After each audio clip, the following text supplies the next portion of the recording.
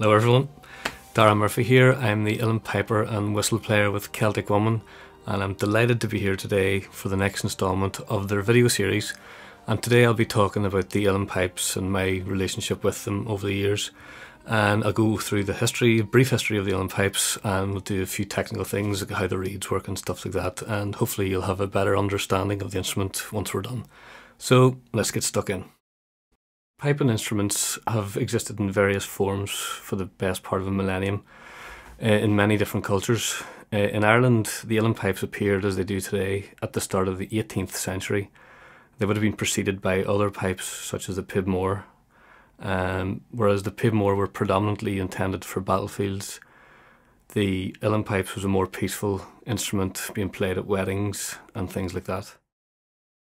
The tradition of uilleann piping went into a decline after the famine, but a revival movement was started with the formation of clubs in Cork and in Dublin around the start of the 20th century.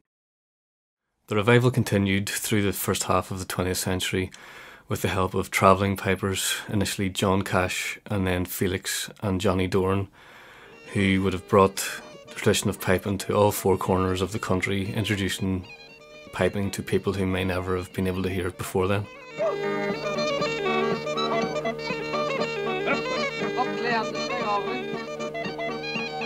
Due to fears of another decline in uilleann piping during the 60s, uh, various groups were set up to try and arrest this decline, like the Armagh Pipers Club, which was founded by Brian and Eithne Vallely in 1966, and then the Uilleann in Dublin, which was founded by Breandán Breathnach and other pipers like Seamus Ennis, Leo Rowsome, and Paddy Moloney. Um, and without the tireless efforts of these clubs, the piping tradition wouldn't be as thriving as it is today. In the 1970s, the uilleann pipes gained international recognition due to the popularity of bands like Planxty, the Bothy Band, and the Chieftains, and their uilleann pipers, Liam O'Flynn, Paddy Keenan, and Paddy Moloney, brought the uilleann pipes to the attention of the world with their concert tours and ever since the uilleann pipes have been flourishing.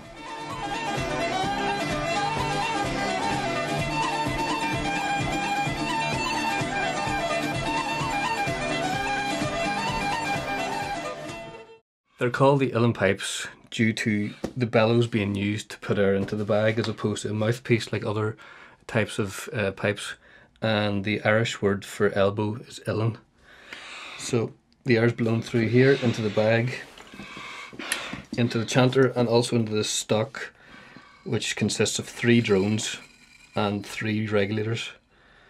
Um, it's played sitting down, so you can create a seal on your knee at the bottom, and that allows you to add more pressure to get up to high octaves. So, and uh, that's another difference between the uilleann pipes and other open hold, bottom hold pipes is that you, there's two octaves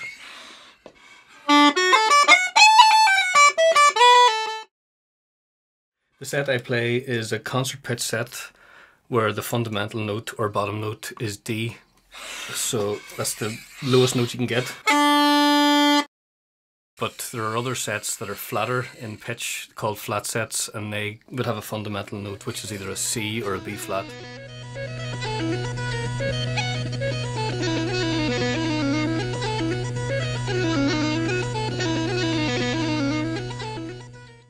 A typical set of uilleann pipes consists of seven reeds. You have a chanter reed, which is in here, three regulator reeds, which go in here. Well, actually, the bass one goes up here. And you have three drone reeds, which are a little different than the other two, in that they're long straight bit of cane with a little flap that vibrates. And they're all in octaves of D. If you've tenor, baritone, bass, same with the regs. The reed for the chanter and the regulators looks like this. It's a double reed similar to an oboe and it consists of a copper tube which has got two bits of cane either side of it. I have a head of a reed here.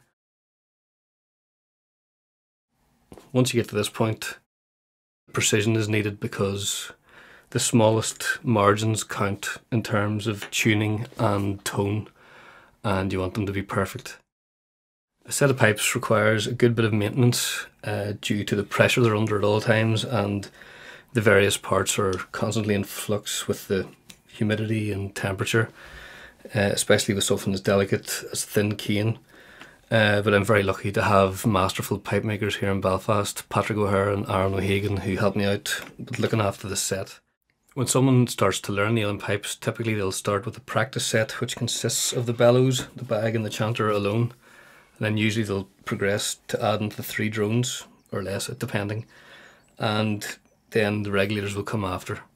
Um, in terms of the history of the regs, the tenor one was added first around the start of the 1700s, and then the other ones were added gradually, and they add harmonic accompaniment to what you're playing on the chanter.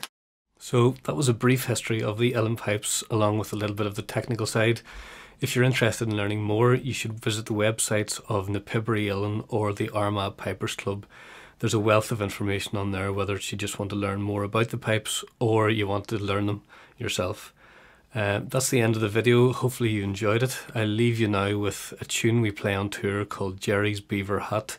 We usually play it before Saive na Bhreanla. I'm looking forward to getting back on tour and hopefully it's sooner rather than later. Until then, stay safe and take care.